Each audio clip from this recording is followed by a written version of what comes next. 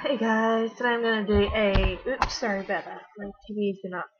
Today I'm doing a video on different concealers and what they're used for, like if the different colours and everything. Um I have to thank stars101.homestead.com slash corrective2.html for the information I have received. Um, I will put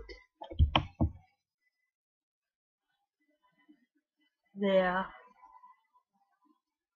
I don't think I'll put there because it. Um, yeah, I'll put the info down in the below bar. Um, yeah. So it's how to apply typical skin flaws and how to neutralize them.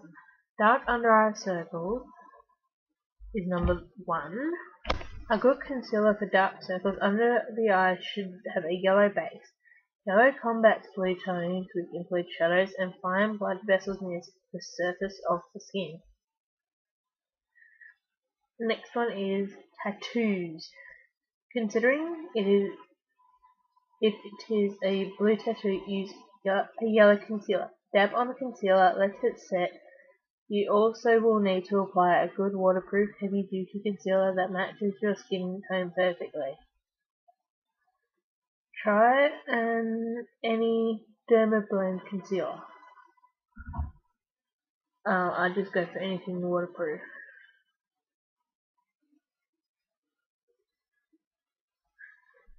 They are heavy enough when whereas not too large.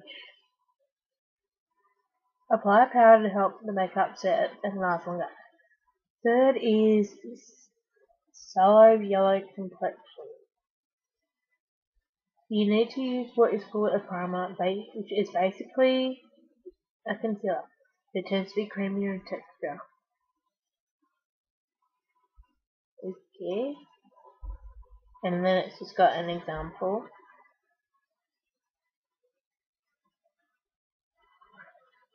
And it just says Smashbox Photo Photo Finish Concealer Correcting Foundation Primer Balance Lavender in Lavender. It is a revolutionary formula that helps fill in the lines and even out discoloration for a seamless finish. There are two ways to apply this. One, well, these are the two ways to apply a concealer. One is to use your fingertips to warm the primer. This way it'll apply easier apply to the entire face. Let it set next. Apply foundation by gently patting foundation so you won't disturb the concealer. This is a little too consuming. But it's a little time consuming so step 2 might be a bit better for you guys. Step 2 is using the back of your hand as a makeup palette. Scoop a little of the primer out of the compact and place it on the back of your hand using your fingertip to warm the concealer which will make it more pliable. Next, add some of your foundation to the primer by mixing it with your fingertips. Then apply as you would in a typical foundation application. Dark spots, which are aging spots and whatnot. Use a yellow concealer. Bruises, yellow brownish bruises can be covered by using a lavender concealer. Bluish-red bruises can be covered with a green concealer. And last but not least, acne red blotchiness rosacea. You want to use a green concealer such as, which again is Smashbox. I don't know why they love Smashbox so much. I think it's probably because it's Smashbox site. If the blemish is raised or has a flaky scale over it, you must be careful.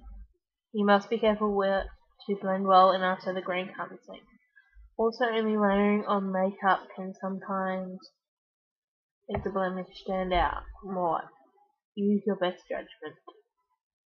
Somewhere in here it says, I read somewhere, that um, when you apply it, you can, when you've applied your color concealer, you can either go over it with a beige concealer, like just a liquid concealer that you use every day. Pretty much like foundation. or you can go straight over with your foundation. But I'd go over with, I'd cover blemishes and then go over with that, my beige concealer and then my beige liquid concealer and then go over with foundation I reckon. So yeah, that's pretty much it. Um, so this is from Style 101. So yeah, um, that is pretty much the whole thing done. Um, yeah, you can pretty much get concealer, the um, different tone concealers anywhere. Um, Essence has one I'm going to try out very, very soon. Um, yeah, Essence one's like under $5. It's like 3 or $4 I think. I'm not too sure, I can't remember. Anyway, um, yeah, Australis has one. Um, yeah, um, Australis Essence, pretty much any makeup range will have a coloured concealer of one type or another. But yeah, um, I found one in Essence range. Um, hopefully you have Essence in your country, you can go check that out. Um, yeah, so I'll put this link below from what I just read and where you can get the coloured concealers in your country, hopefully. Okay. Alright, I'll catch you all later, and sorry I'm just in and out of reading and all that, and sorry, um, I just had time. Anyway, thank you for watching, I hope you enjoyed this video, um, sorry, I, I sound like I was reading or something, I was trying to sound as natural as I can, but obviously I didn't.